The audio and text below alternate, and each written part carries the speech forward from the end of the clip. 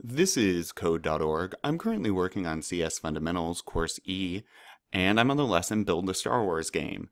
R2-D2, I need you to, to get a critical message to the Rebel pilots. Make R2-D2 move when you use the arrow keys. Hold down these buttons or the arrow keys on your keyboard to trigger the move to trigger the move events. I wonder what the move events are. Place a go up block here to go up. Okay. Oh, this must be the move event. So on the event that we move.